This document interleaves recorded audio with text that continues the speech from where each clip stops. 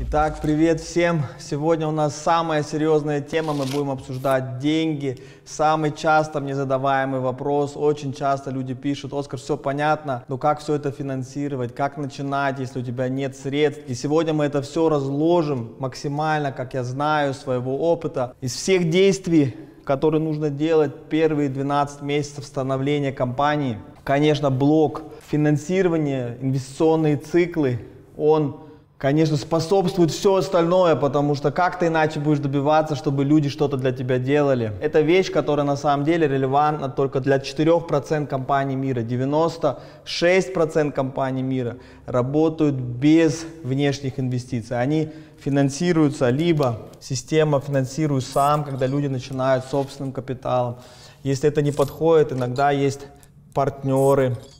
Да? Если есть бизнесы, которые могут финансироваться клиентами, когда клиент готов платить до получения услуги или до получения товара. Есть такие э, случаи, когда можно построить очень большой бизнес за клиентские деньги. Есть банковское финансирование, которое подходит для определенных э, бизнесов, где достаточно низкие риски. Но если это все не подходит, если вы строите очень инновационный бизнес, если вы строите будущее, вам надо продать мечту, если вы начинаете с нуля. И очень многие люди в истории это делали. Если вы смотрите новости, очень часто вы читаете про Фейсбуки, про Ravi про все эти компании, которые на самом деле финансировались венчур финансированием. Это Э, можно сказать, продай мечту, продай мечту, особенно э, в самом начале. И это э, как раз касается вот этих циклов, которые, если вы здесь, вот если говорить про контроль над компанией, чем больше вы здесь, чем больше у вас контроль над компанией, и, конечно, чем больше вы будете зависеть от внешних ресурсов, ваш контроль над компанией, даже если, даже если клиенты или партнеры финансируют, вы, вы однозначно теряете контроль над ситуацией. Поэтому нужно это понимать. Можно намного более крупную компанию построить и не быть королем маленькой компании, можно быть меньше акционером очень крупной компании. Так в основном, если посмотреть, э, Джефф Безос самый богатый человек в мире сейчас, у него только 20% Амазона, даже может быть уже меньше после развода. И таким образом мы ищем средства для осуществления своей мечты. Как это происходит, сейчас детально обсудим, но перед тем, как начать, про все стадии, фаундерская, сид и так далее, и как к этому готовиться, хотел Э, коротко показать главные вещи, которые касаются всего этого цикла. Какие главные факторы успеха, которые я знаю для успешного прохождения инвестиционных циклов. Первое, это очень важно, это ясность. Это означает, что вы должны 100% точно знать, что вы хотите.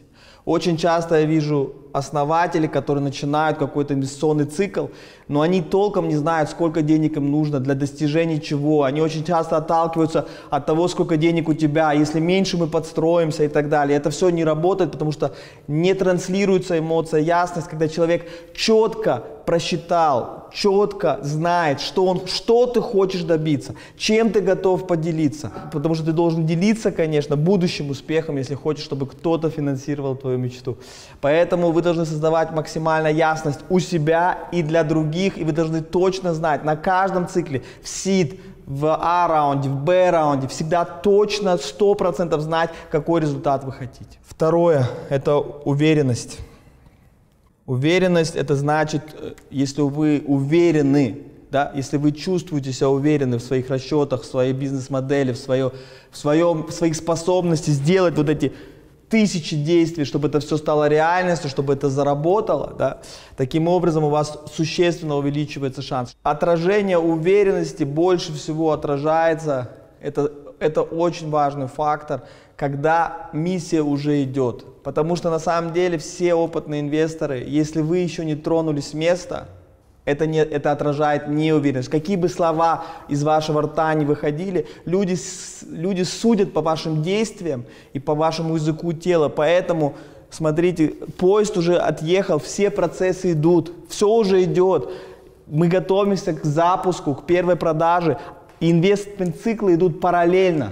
А не так, что очень часто я встречаю предпринимателей, это, это просто фатальная ошибка, которой просто ничего не, ничего не началось. Типа, если деньги придут, мы, по, поезд поедет, если деньги не придут, поезд не поедет. Это говорит о первом, что вы не уверены. Это говорит о втором, что вы такой человек, который не может ничего сделать без денег. Потому что когда у тебя есть деньги, конечно, ты можешь запустить процесс. Но когда ты молодой студент, и у тебя есть социальный капитал, и ты можешь просить людей, например, у меня уже в студенческое время я мог без денег просить людей мне помочь, которые что-то умели, что-то знали. Я мог запускать процессы без денег, с обещанием будущего или что-то другое. Это, это самое сложное, потому что надо быть действительно уверенным, чтобы запустить процессы, потому что если этот инвестмент цикл окажется неуспешным, конечно, топливо закончится прямо по дороге, и это очень болезненно. Это очень болезненные процессы, когда раунды ломаются. Это действительно, это больно. Поэтому пытаются все это избежать, но это не работает. Поэтому уверенность вы должны посылать все сигналы, что эта миссия уже в процессе. У инвестора должно быть ощущение, что у него просто вот, вот шанс допрыгнуть просто, что ему повезло, что он запрыгнул в последнюю секунду на поезд, который уже идет к успеху. Третий очень важный фактор успеха во всем этом цикле – это скорость. Опять посылает правильные сигналы. Э, я вообще практически не видел за всю свою историю, а история моя огромная. Я привлек намного больше миллиарда долларов инвестиционных денег во все свои портфельные компании. Я видел сотни плюс ситуаций. И все поломанные процессы, которые я видел, которые не достигали результата, это всегда была низкая скорость. Это длинные затянувшиеся процессы, когда не происходит по правильному алгоритму, правильные действия, правильное время, очень сжатый срок, и происходит опять, посылается неправильный сигнал, неуверенности, что инвесторы начинают думать, что, наверное, им другие уже отказали, что-то все затянулось, потом уже у вас, например, задерживаются дедлайны, потому что деньги не пришли, и все это ломается. Поэтому максимально некомфортный процесс. Все инвестмент-циклы, в которых я находился, я работал 100 плюс часов в неделю. Это максимальная выкладка, это отключается абсолютно все. Вообще ничего не было, ни спорта, ни жизни, ни сна, ничего. Просто было только в 5 часов утра начало и до последней минуты просто супер хардкор. Это вы боретесь за выживание. Поезд уже едет, вы знаете, что топливо закончится, вы знаете, что вас обязательства растут. Если это не состоится, это смерть. Поэтому скорость – это сверх должен быть начало процесса и конец процесса. Конец процесса – дедлайн, в котором либо ты нашел, либо не нашел. И это вот ее двигать вперед, это такое создает ощущение, что может быть еще не произошел фейл, но фейл уже произошел. Неуспех уже произошел максимальный срок на первых seed раундах и так далее, это 90, может быть, я еще видел какие-то 120 дней, но все, что идет за полгода и так далее, это можно уже ставить крест. Всегда есть исключения, если вы действительно сделали какой-то там, ну, если очень инновационный продукт, и вы сделали какой-то прорыв, может быть, всегда есть исключения. Но все успешные процессы, которые я видел, они начинаются, они заканчиваются, и все инвестиционные банки, которые, если вы, например, этот процесс не любите делать сами, это очень на самом деле интересно. Некоторые основатели говорят, ой, я нанял, я нанял инвестиционный банк или банкира, я нанял какого-то человека, который мне это сделает. Первое, что вы должны знать, что вы заплатите за это ну, в среднем 4% от всех привлеченных денег, да, если на цикл компании, если это будет, это будет очень большая сумма, соответственно, это будут миллионы долларов, значит, вы, как основатель, не притащили в компанию эти миллионы долларов, вы просто своей ленью, своей, вот, вот, что у меня вот этого нет, вы просто лишили компанию этой суммы. Это очень дорогая услуга. Те люди, которые умеют тащить деньги в чужие истории, это самые высокооплачиваемые вообще как бы сотрудники, которые бывают. Поэтому это очень высоко оплачиваемое. И для вас, как для фаундера, это значит, что это очень высокоценная активность. Вы должны ее делать сами, честно говоря, особенно когда на сид, когда, если раунд Б, С, я еще понимаю инвестиционный банк, но если это на сид раунде происходит, это обычно уже говорит о истории, которая не состоится. Соответственно, скорость очень важно точно если начали процесс, начали, работаем, это просто процесс, который требует сверхусилий. Делаем, создаем вот эту спрос. Вы маркетмейкер. Вы только что создали частный рынок для своей компании. Да? Это, не, это не биржа, где у каждой компании есть ликвидность, и биржа обеспечивает ликвидность. Вы, как фаундер, вы обеспечиваете ликвидность. Все зависит от вашего уровня активности. Если вы не обеспечиваете, потому что когда произошел, например, неуспех, не, на, не найдены деньги, очень часто основатели говорят, вот, ну, как бы не было. На самом деле они просто сделали, не сделали рынок, они не собрали достаточно, они не нашли ликвидность, она может быть где-то была, они может быть обошли 4 человека, получили 4 отказа и на этом поставили крест. Соответственно, э, все, что меньше 100 отказов не считается, огромный уровень активности. Чтобы быть маркетмейкером, вы стали биржей своей компании.